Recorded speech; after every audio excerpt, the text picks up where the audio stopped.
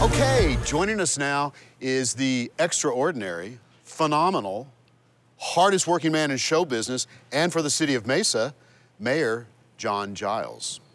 Tony, good to be here. Good to be back at the Chamber of Commerce Christmas tree uh, in the middle, in the heart of downtown Mesa, uh, kicking off Merry Main Street.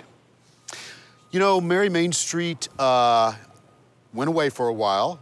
We now have a phenomenal Christmas tree back, four stories high. Thank you very much, all you guys getting that back for the citizens.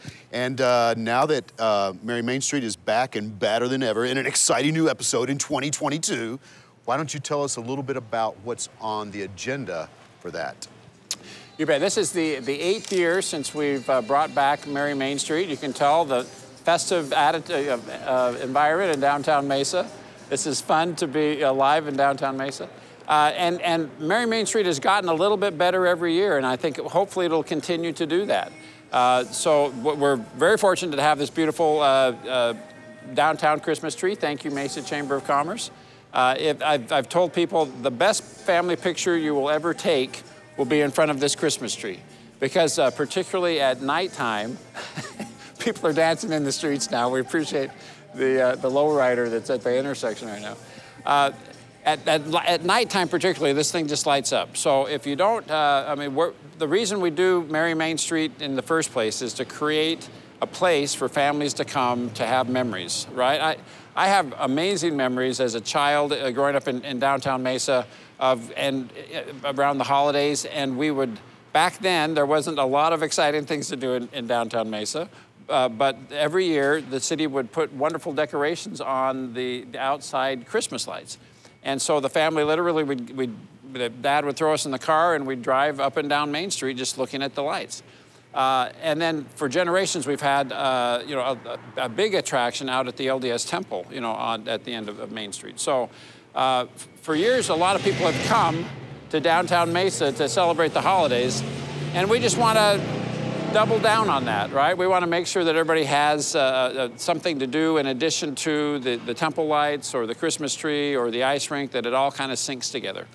So walk us through uh, the next two and a half weeks. Yeah. Uh, obviously, this is the focal point for uh, our yeah. celebration of Christmas. Right. And what other events do we have to look forward to? So Santa will be here every uh, Friday and Saturday uh, up through uh, Christmas and, and, including Christmas Eve. Uh, and then the, the ice rink that's Wait a minute, wait a minute. How does that work?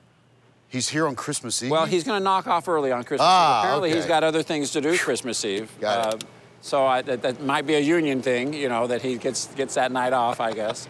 uh, so, but uh, you can have your, your, bring your kids down here, take a picture with Santa, take a picture in front of the Christmas tree.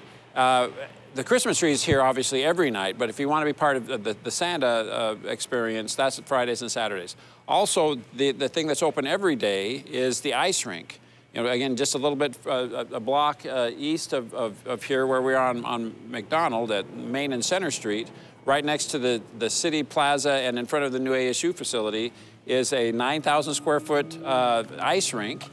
That's open every day, Monday through Friday from uh, 5, 5 p.m. to 10 p.m. And then on the weekends, it's noon to 10 p.m.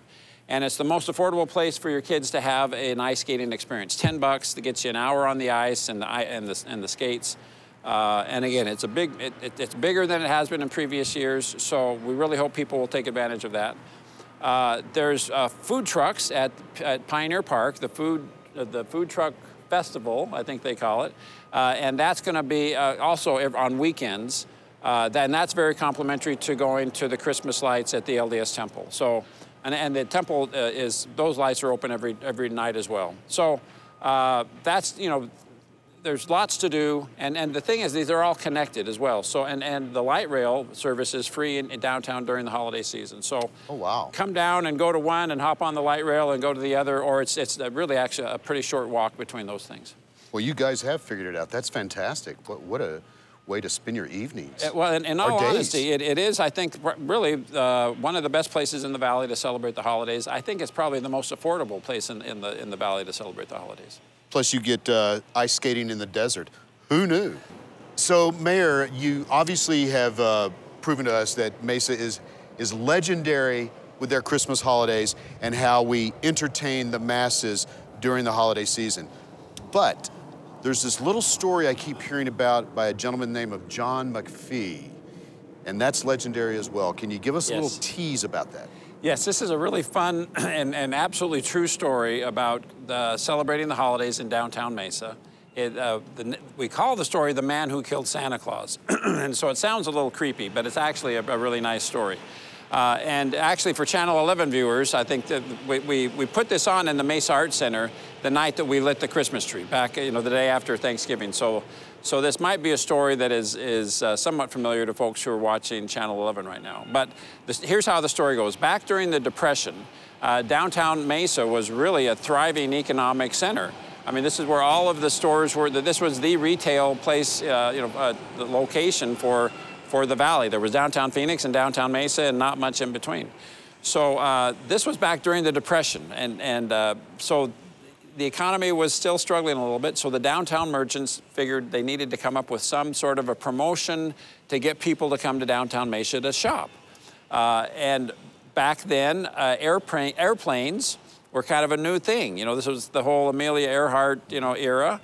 And, uh, and so they thought, what would be cooler than having, you know, involving airplanes somehow?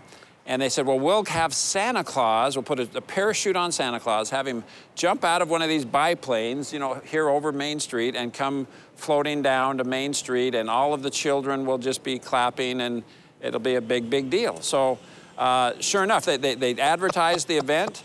Uh, children from far and wide, Phoenix, Tempe, Chandler, Gilbert wasn't a thing, but you know everybody in the valley was here on Main Street to watch Santa Claus jump out of an airplane.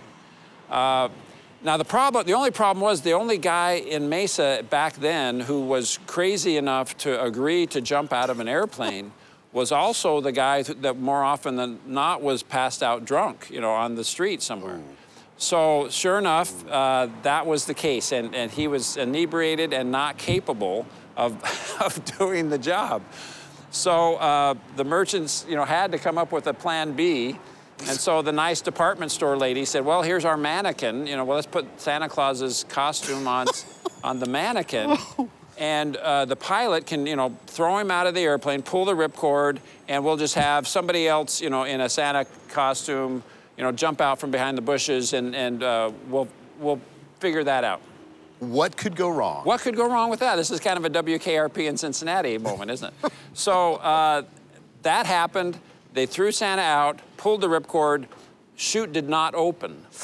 So all of the children of uh, greater Maricopa County were assembled on the streets of downtown Mesa to watch Santa drop like a rock, you know, to plummet to his death, actually. And I, I'm, I'm, I'm not trying to be funny. It, it actually was a traumatic experience for Sure, the people, that, yeah. especially the children that were there. So uh, John McPhee, who was the downtown merchant, you know, uh, guy at the time, he ultimately had to leave town. Uh, I think it probably had something to do with this event. He had went on to have a, a nice career. He was the mayor of Durango, Colorado at some point. But when he passed away, the obituary that they ran for John McPhee in the Mesa Tribune was the man who killed Santa Claus has died. Oh, man. So this is a great story. It's a true story. Uh, it's one that we love to tell at Christmas time Yeah. uh, because it, what it, the, the spirit behind it is that downtown Mesa has always strived to be uh, a great place to, se- to celebrate the holidays. Sure. Wow. Yeah, yeah, that's a that's a killer story you got there. But No anyway, intended, huh? uh, well, thank you so much for sharing that. thank you for your time here. You bet. Thank you for uh, uh, Merry Main Street. Thank you for the wonderful Christmas tree, and thank you for everything that you do for the city of Mesa and its citizens. My pleasure. Thank you. Welcome, Tony. Good to have you in, Thank on you, sir. Mesa Morning Live. I, I'm honored to be here. And uh, to all of you, thank you so much for watching today.